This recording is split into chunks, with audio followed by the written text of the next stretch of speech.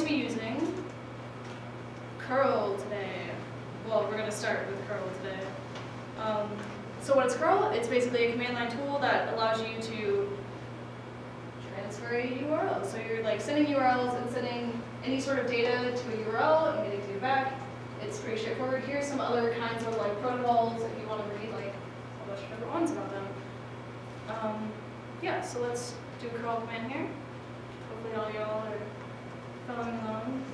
Um, also, do all of y'all have GitHub accounts? I hope so. If you don't, you should make one immediately, right?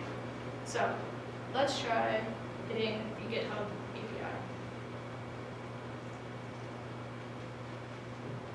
If you don't have a GitHub account and you just don't want to admit it, you can use mine right now, even though the data will be less interesting than seeing your own. Alright? Got it? Um, you need to install curl, do that. Oh. You don't curl? What? Uh, it's not inside. just set up this machine. I don't, I don't, I think it is installed by default on the VM if that's what you're using. Mm-hmm. If not, you know, sudo apt-get install curl will solve all of your problems. There you go. Alright, so, let's see what this spits out. Oh, sweet data, alright? So, what is all this data? Um, pretty straightforward, you know, login information. It's all public data because we didn't actually authenticate at any point here. You can see, you know, my name, my email address, a bunch of other stuff. Um, and this is all in JSON, which we'll be discussing more later, but that's the type of format that all this data is uh, presented in. Um, yeah, so let's try something a little different. The same guy, but add a verbose flag. Alright. So, alright, so here's a bunch of like handshake stuff at the top, and then we get into the, the fun stuff. So the arrows that are pointing like towards the words is the request that we sent to the GitHub API, and the arrows that are pointing like away from the screen are the response that we received back. So on the first line, you see that we did a GET request, right? So that's the most basic type of request, and there are a lot of other types of requests, and uh, they're like HTTP verbs is what they're generally referred to as. And this, the examples that I'm going to go over and explain this is mainly for a RESTful API, if anyone uh, is going to like point out little faults. Um, yeah, so GET is what we just did. Pretty straightforward, you just kind of ping the server and you get stuff back. A put command will create or update data. So say that I, the dash capital XY is the type of request that you're trying to send. So obviously we're going to put, and the dash D is just data. So we're sending text and stuff to a URL, which I did not specify in this specific request. Um, so yeah, this will put that data onto the server. So if you wanted to delete a client named Joe, uh, it's pretty straightforward. We just hit the URL endpoint that we wanted to delete, and that's how it would work. And a post is similar to a put in that it can also be used to create and update data, but um, you cannot use a new uh, endpoint. So you can only use an endpoint that has been made already. It's kind of confusing and ridiculous, but basically you would hit this endpoint and at that endpoint it would have like a factory or something that would make a new data type. So you would hit that endpoint and presumably send more data and be like, hey, create a user named Jane and here's all of her data and then it would create it. So uh, people argue a lot about put and post and which one is better to use when and it's a giant mess. Um, so yeah. That's pretty much it. All right. Um, so let's get back to the response that we got back. Uh, the first line of that is a 200 OK. So uh, that's obviously good. We hit the endpoint and nothing bad happened. So what does the 200 mean? Why is it 200? Well, there's a lot of standardized response codes in HTTP. So I'm sure a lot of you have seen like 404 not found when you go to a website and it's not there anymore. Um, they're all pretty straightforward. So created would be like if you hit a put request and then it came back and was like, hey, you created a new client, congratulations. Um, moved is when it has been moved permanently, uh, like the endpoint has been moved permanently. Uh, bad request is basically if you send bad data, it's usually what that means.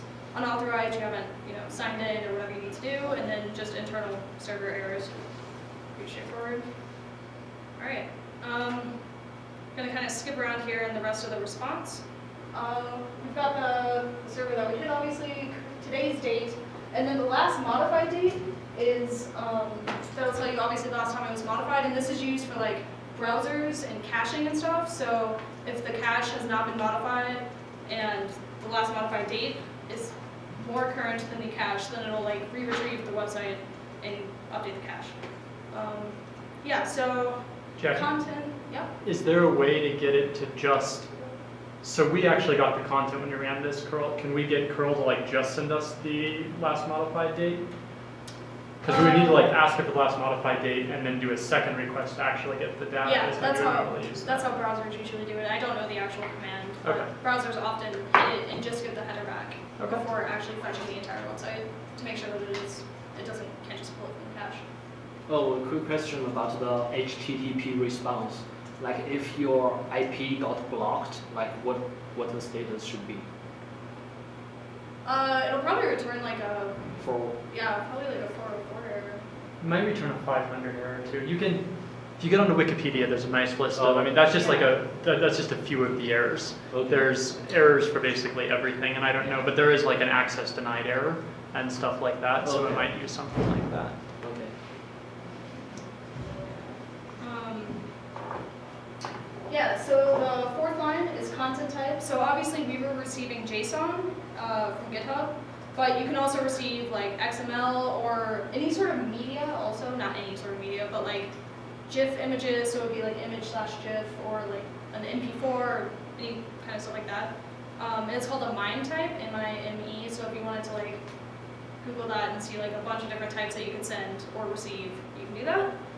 Um, yeah, so connection keep alive, so that'll basically just keep the connection alive. So the alternative to this is closing the connection. So it basically just cuts down on handshake overhead. Pretty straightforward. Um, yeah, I think that was all I wanted to cover. Uh, yeah, so what are these X rate limit guys? They look kind of suspicious. So GitHub specifically has a limit to the amount of times that you can hit their API. Uh, I'm not signed in. The if you're if you're authenticated, then the limit is like 5,000. But if you're not, then it's 60. Um, obviously, I've hit it twice in the last hour uh, on the last two curls that we just did. Um, yeah, so that's GitHub specific, and it basically prevents people from like spamming the API and getting a bunch of like crazy data. Um, oh, another super important one is content length. That's the one at the very bottom. So if you're, say, like you hit an API and you're trying, trying to stream the data back, it's really good to know how much data you should be expecting to receive if you want to have like a loading bar something like that. It's very useful. Um, so let's try, uh, it's just the data we got back, we already saw that earlier. Um, let's try another curl. This time we're going to use dash i, so that'll just show the response header.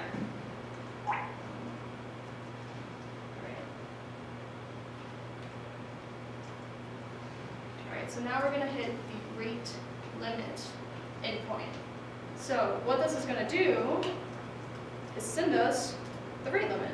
And uh, luckily for us, this command, when we hit this endpoint, it doesn't count against us in our limit, so we could hit this command all day long and it wouldn't, the remaining wouldn't go down. Uh, so GitHub is friendly that way sometimes. Alright, so we still got JSON back here. So now, what exactly is JSON? Is there any questions right now? Or anything that we've covered? Is that limit in seconds? It's the number of times you hit it, the number of Okay. times you hit an endpoint, So what happens if you get to zero? then you're done. I don't actually know, I haven't tried it. I mean, it must reset at some point, right? Every eventually? hour, yeah, just the Okay. amount every hour. Okay, okay. So we'll just refuse the request then? Yeah, probably it'll just send back like a error. Right. Yeah, one of the codes that I showed you earlier, send back. Send back one of these, probably like, I don't actually know which one. it would send back. Something bad. Um, yeah, so